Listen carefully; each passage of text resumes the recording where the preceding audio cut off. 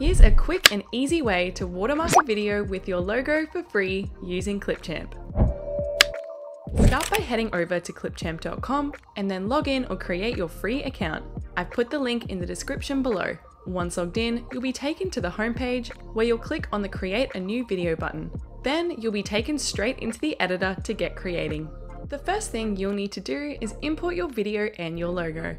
Do this by heading over to the import media button and you will need to note that the logo you import in will need to be a PNG or JPEG logo image file from your computer.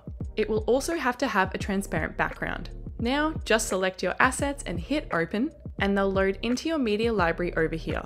Next, add the video into the timeline by dragging and dropping it in, just like this. Now you'll drag and drop your logo into the timeline too, placing it on top of your video asset. Before turning your logo into a watermark, you may have to make some quick edits to the size, placement, and length of it. To adjust the size and placement, click on the logo asset in your timeline, and it will highlight in green so that you know it's selected. Then use the freehand tool to drag the corners either in or out to make it bigger or smaller. Then you can freely move the logo anywhere you'd like on the video preview until you're happy with the placement. You'll also need to make your logo the same duration as your video to ensure it shows throughout the entire video. Do this by dragging the end handle of the asset in the timeline to the right until it meets the end of your video, just like this.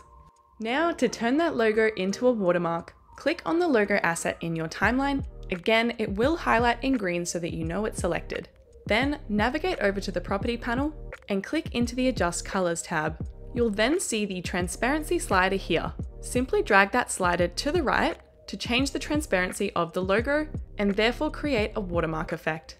Once that's complete, just play your video back and make any final edits to ensure the placement, the size, and transparency are exactly how you'd like. You can also have a play around with the placement and the size, placing it anywhere in the video preview. And it's as simple as that. Once you're completely happy with your video and all of your edits are complete, you can go ahead and export it by heading to the export button, selecting your video quality, and once the export is complete, hit save to your computer and it will download to your device, all ready for you to share. And that's how you can watermark a video with your logo for free. If you like this video, don't forget to like and subscribe to our channel for our weekly how-to videos.